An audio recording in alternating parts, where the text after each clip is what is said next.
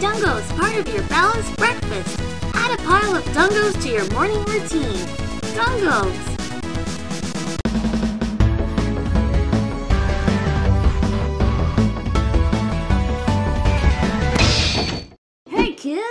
What's your favorite cereal? Is it Weetabix? Bran Flakes? How about water in a bowl? I grew up in the 90s, a time of heavy consumerism where advertisements were everywhere. The industry was oversaturated with companies greedily trying to get you to buy their products through over the top, eye grabbing, shameless marketing techniques. And with us being none the wiser, we ate it all up. And unlike my parents' wallets, I enjoyed every second of it. Almost every product that I can think of that was geared towards kids back then always had some sort of promotional tie-in. There was even cross-promotion in our cereal. Buy a box of cereal and get a neat toy, or even those cool compass flashlights, or even get a free CD-ROM game of Monopoly and Toon Tycoon. Reeling in consumers with the promise of video games always gave kids like me more incentive to begging my parents to get me one of those specially marked boxes of cereal. Some companies would even go the extra mile of not just including a free CD-ROM within their cereal, but they would also produce games of their own respective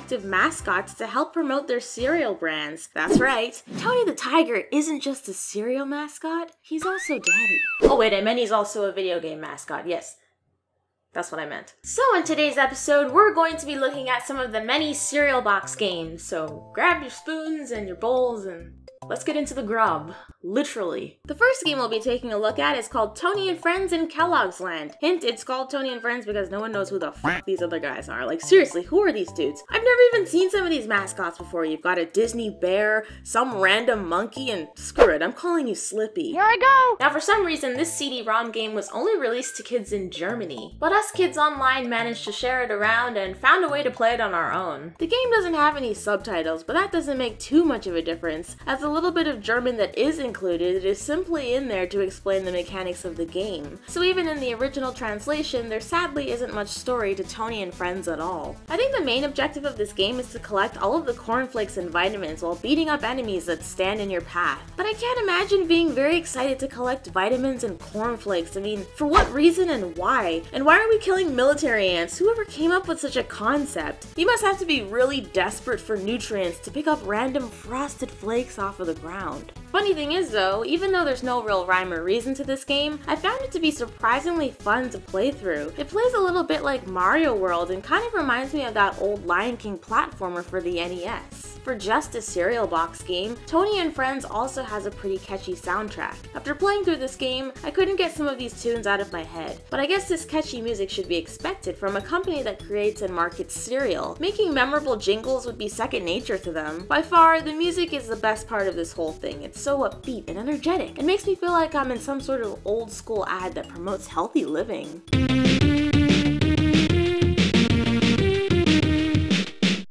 Addition to the game's soundtrack, it's also decently designed and easy on the eyes, especially considering that it's a cereal box game made with the intent of not being taken too seriously. I think it looks fine. My only real issue here is Tony. I just can't get over how awkward he looks. Not only is his appearance a little unsettling, but I feel like overall his character sprite could be much smaller. He sort of seems misplaced at times among all the platforms and obstacles. He's just so large in comparison to everything around him, and it just looks weird. The image of a large anthropomorphic tiger peeking through a door, it looks a little creepy and voyeuristic if you ask me. And none of the other characters seem to look as weird. Like, is there something weird about Tony that I should know about? Maybe he's not the sweet and wholesome soccer coach we thought we all knew. If he was creeping through my door like that, I'd give him a piece of my mind. How about you respect people's boundaries, dude?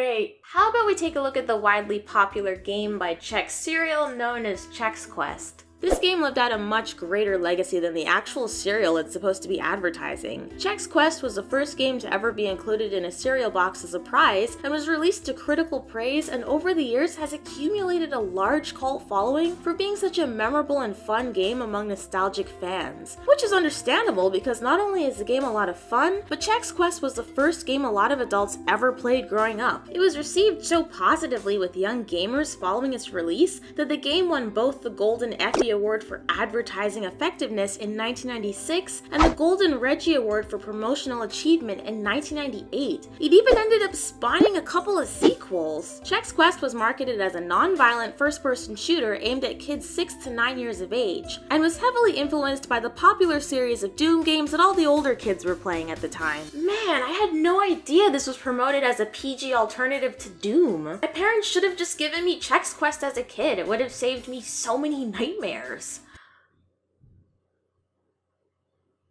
You play as the Chex mascot, an earthworm Jim powdered toast looking warrior whose job is to defend the planet Bazoik from the invasion of evil Flemoids, a weird green species of alien who have captured helpless human colonists whom the Chex warrior must save. I remember these enemies for their distinct, annoying, and loud cries that they'd let out whenever you'd encounter them. It was so off putting to hear, and even if you couldn't see them, you always knew when one was hiding behind a corner.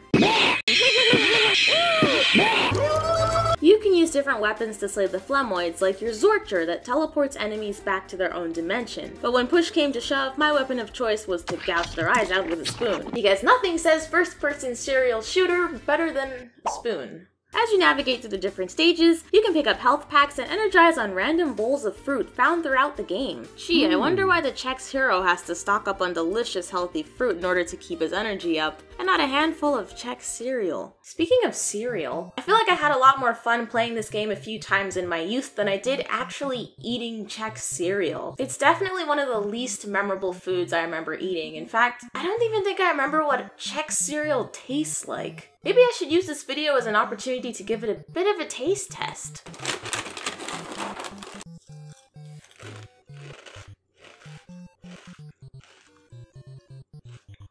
It's pretty good.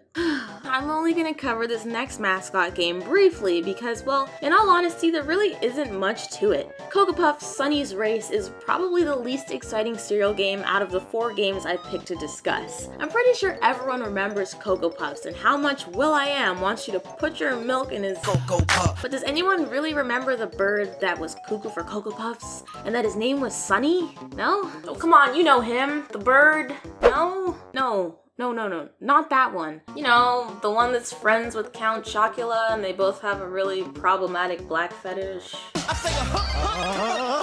The brothers, the brothers. In this game, Sonny is embarking on a race to collect all of the chocolate pieces to ensure that every Cocoa Puff is packed with the real Hershey's cocoa. Instead of just letting the Hershey's factory handle it, somehow running a race and collecting chocolate items will ensure every Cocoa Puff is packed with chocolatey deliciousness. See, none of that even makes sense. Even his friends don't know what the hell he's up to. This kid legitimately says, Sonny, why are you putting yourself through this? To which he replies, I'm in love with the cocoa.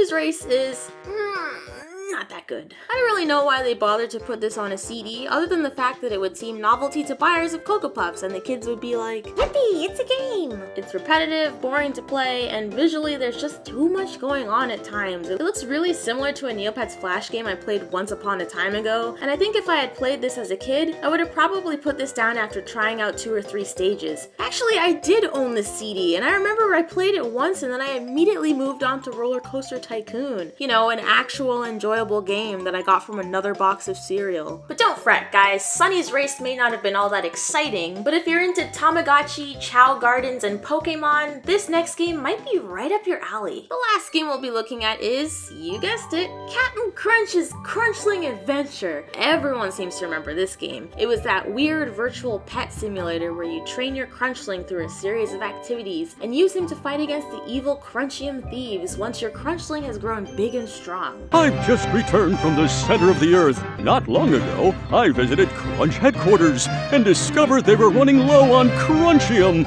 Someone or something was blocking the flow of Crunchium. Piloting the subterranean, I charted I the course the of the pipeline to the very depths of the tunnels around Crunchium, Yeah, this game had some weird, overly complicated lore that I'm sure none of us really paid much attention to as kids, and everything makes a lot more sense if you don't pay attention to the cutscenes. In this game, you have the choice between three different Crunchlings the guy, the girl, and this totally rad and juvenile Bart Simpson looking Crunchling. Can I just say, there is something unsettling about the faces and movements on all of these hellish little nightmares. I'm having a bit of a panic attack over here watching them dance. They look like a cross between a hairy caveman and Garfield. And Captain Crunch is just up there at the side like, Hmm, do you like my little freaks? I think I'm gonna pick the one in the middle, mainly because he has shoes. Oh, thank God we can change up their colors. I don't think it will be much of a help, but we'll see how it looks in different skins. Wow, guys, I think I just came up with the most original looking Crunchling. I'm speechless.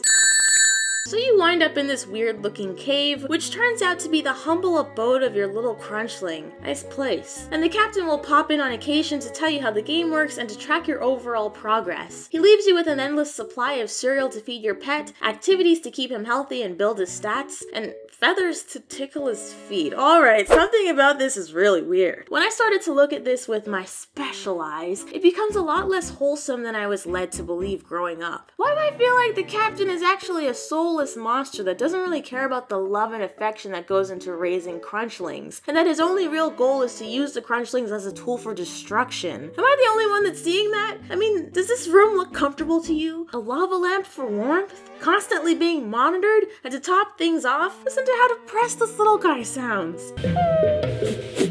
And all the captain can really say is, Oh yes, they need more cereal. This is starting to look like a prison. Hey Captain, what happens once they're big and strong? Like I said earlier, in order to grow your crunchlings, you need to train them through a series of activities that targets their speed, jump ability, and strength. Speed training takes place in an area called Backwardia, where you have to race against a freakishly quick turtle who, to add insult to injury, runs backwards. It's not actually that hard to beat him if you really put effort into it, but say you happen to stumble over an obstacle and you instantly lose your place. It's so unforgiving and it really isn't easy to make much of a recovery after you've slipped up. Look at this guy, he's just rubbing his victory in my face, kicking dirt over my lifeless corpse. If you want to work on increasing your jump distance, you train in Computica, which looks exactly how it sounds. In this session, you have to press the spacebar to make your way up to the highest platform, gathering crunch berries along the way for bonus points, whilst you avoid the sharp ends of the motherboards and processors. And the quicker you make it to the top, the higher your score. But wait, the spikes don't even hurt you? You'd think they'd make it a little more challenging, but I guess it's just meant for stylistic purposes and to just intimidate us. The last area of training is on planet Jurassica. What the? You're just throwing rocks at rocks. Just hold down the spacebar as soon as the countdown ends and let the game do all the work. Oh, and get bonus points for hitting the Stegosaurus colossal birds. Seriously, that's all this is. I'm more fascinated with whatever's going on in the background. That background has no business being in this game. I feel like it belongs more in Street Fighter than anything else. Once all the meters are full, then you're ready to challenge the Crunchium thieves who look like gremlins that have a gym membership? What the- They're massive! Once the Crunchium are defeated, the game ends with a bit of an ambiguous cliffhanger ending, which is a move you totally expect to see from a dev team that has some kind of planned sequel. Guess if it has a sequel? It does not. I mean, it kind of seems weird to me, but I'll let you guys be the judge. Way to go! You've saved Crunchium City and all the world's Crunchium! Thanks to you, there will be plenty of Cap'n Crunch cereal forever! Three cheers for the greatest Crunchling athlete! The Crunchium Thieves are history! Together, we trained the greatest Crunchling athlete They probably died. What?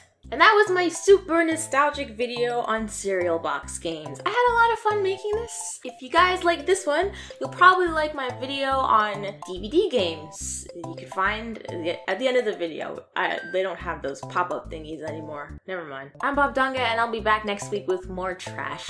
Bye! So, um. How long you been here? Um, how long's it been now? Oh, I can't believe you forgot. 1,300 years. Right. Wow. 1,300 years?